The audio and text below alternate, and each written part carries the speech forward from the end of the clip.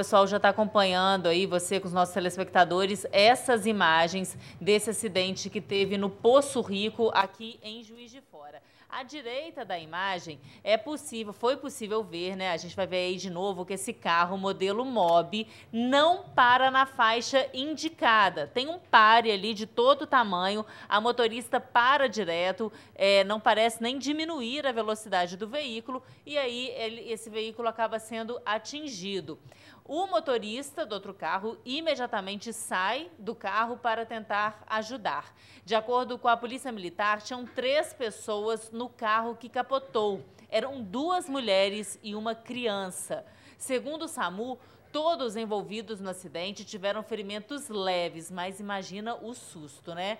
Há ainda um terceiro carro envolvido nessa situação. Ele não aparece nas imagens, mas ele estava estacionado logo após o cruzamento. Não tinha ninguém nesse carro que estava parado. Os dois motoristas envolvidos no acidente eram habilitados, mas os dois carros tinham documentos pendentes e, por isso, foram removidos ao pátio do Detran. A gente está acompanhando agora de novo aí, Luiz Mar, essas imagens.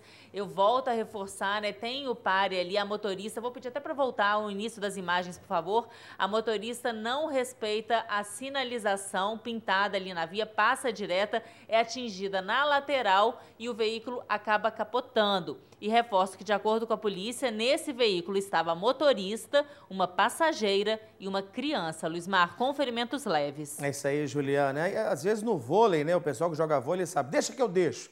Deixa que eu deixo, acaba a bola caindo no chão. É sempre assim, no cruzamento, você não pode ficar esperando a oportunidade de deixar para o outro motorista, não. Vai, já, já tem o pare, para. Não fique imaginando, não, vou passar aqui tranquilamente, eu passo aqui todo dia, não tem problema nenhum. E quando passa, pode acontecer o que aconteceu nesse caso lá no Poço Rico.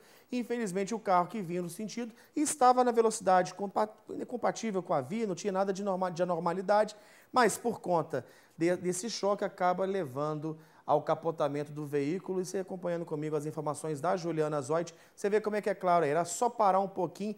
Para, meu filho, para né, né, né, diminuir, não. Parar é parar.